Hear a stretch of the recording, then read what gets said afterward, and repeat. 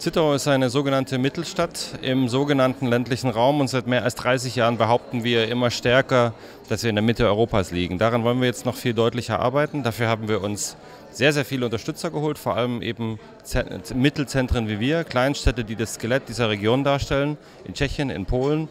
Wir haben unsere sorbischen Unterstützer gefunden. Wir sind mit der gesamten Kulturregion unterwegs, um Zittau den äh, Titel, das Motto 365 Grad Leben tatsächlich spüren zu lassen.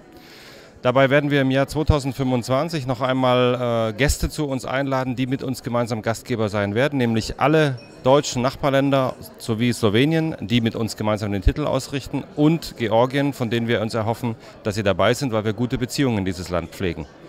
Ansonsten kann man sagen, dass in Zittau natürlich als kleinster Bewerber die Zeichen auf Sturm stehen. Wir haben einen Bürgerentscheid gefällt, der war eindeutig, Leute macht das und jetzt tun wir das auch.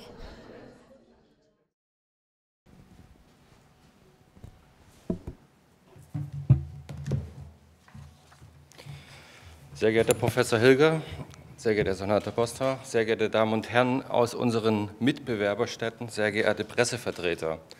Gerade gestern erst konnten wir in Prag im Palais Lobkowitz feiern, dass die ersten DDR-Flüchtlinge dort mit ihrer Ausreise per Zug der kleine Stein in der Mauer war, der als erster fiel. Kein anderer Grund, warum ich heute hier stehen kann. Die Entwicklung dieser Jahre ist uns hoffentlich noch bewusst, die für uns Deutsche zur deutschen Einheit führte und das Aufbegehren in vielen Ländern des Ostblockes aber ermöglichte gleichzeitig den langen Weg zur europäischen Einigung, die wir heute zwar kennen, die wir 2004 auch mit der Osterweiterung in Zittau gefeiert haben, aber die ganz, ganz viele offensichtlich nicht so richtig verstanden haben und noch weniger schätzen. Ländlicher Raum und demografischer Wandel, die Oberlausitz, die Region Skorzelec und Nordböhmen, unser Zuhause rund um Zittau, sind der direkte, ungeschönte Spiegel dieser auch europäischen Entwicklung. Wir leben damit, bei aller Kritik und formulierten Problematik übrigens ziemlich gut, und versuchen uns jetzt aber auch aktiv am Gegenentwurf zur teils heftigen Kritik, die wir auch zu Hause erleben. Denn unsere Kultur ist unser gemeinsamer Anker, unsere offenen Grenzen sind unsere Grundlagen. Unsere Geschichte, unsere Kulturen bieten enorme Tiefen und Höhen und nicht wenig davon hängt mit den Mittelzentren im ländlichen Raum ab. Zusammen Zittau als Teil des historischen Sechsstädtebunds mit Kamenz, Bautzen, Löbau, Görlitz und Luban hat sich jetzt noch weitere Unterstützer wie die Mittelzentren in Tschechien, Liberec, Friedland, Česká Lípa oder in Polen Boleslawiec, Zielina Gora, Jelena Gora um sich versammelt. Mit unseren direkten Nachbarn, den Kleinstädten Radek nad Nisou in Tschechien und Bogatynia in Polen, stehen wir ohnehin als Dreierbündnis im täglichen Austausch. Uns ist sehr bewusst, auch angesichts unserer Mitbewerber, dass wir eine Region fernab der nationalen Metropolen nur gemeinsam entwickeln werden, völlig egal, in welchem unserer drei Länder die jeweilige Stadt liegt. Die enorme Symbolkraft unseres Dreiländerecks entsteht aus der riesigen Herausforderung, die Krieg, Vertreibung, Versöhnung, Eiserner Vorhang, unseren Menschen abverlangt haben und tatsächlich immer noch abverlangen. Der Zusammenbruch der Wirtschaft nach 89 hat uns viel Kraft gekostet.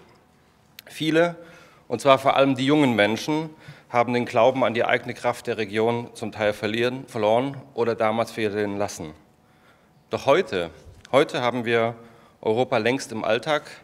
Wir nutzen seine Vorteile sehr aktiv. Andererseits ist unsere Grenzregion Nahtstelle dafür, was zwar in den Parlamenten beschlossen und gedacht wird, aber was vor unserer Haustür erarbeitet und gespürt wird. Deshalb ist es umso schöner, dass uns die Zittauer Bürgerschaft mit überragender Zustimmung per Bürgerentscheid auch in diesen Wettbewerb geschickt hat. Kultur und Bildung sind heute die besonderen Pioniere des europäischen Zusammenwachsens an unserer Nahtstelle. Wirtschaft und Verwaltung folgen ehrlicherweise erst nach, wenn der Erfolg absehbar ist. Doch gerade auch die engagierten Menschen in Umweltschutz, Sport oder auch Traditionsvereinen, die haben sich schon seit sehr, sehr viel längerer Zeit, wenn es sein musste, auch illegal, als Brückenbauer über Grenzen hinweg betätigt. Wir alle können im Jahr 2025 die Entstehung Europas genauer feiern, 80 Jahre nach dem Krieg. Wir können aber auch den Geburtstag eines Dreiländerecks feiern, dass Deutschland 1945 zwar den Frieden brachte, vor Ort aber sehr viele Konflikte auch dabei hatte. Darüber sind wir fast hinweg. Daran arbeiten wir täglich. Unsere Belohnung ist ein echtes europäisches Miteinander. Und um das erleben zu können, wollen wir Europa zu uns einladen, als Mitwirkende voran unsere neuen Nachbarländer, dazu Slowenien als gleichzeitiger Titelträger und Georgien als Beitrittsaspirant, das ähnliche, aber auch ganz andere Erfahrungen hat.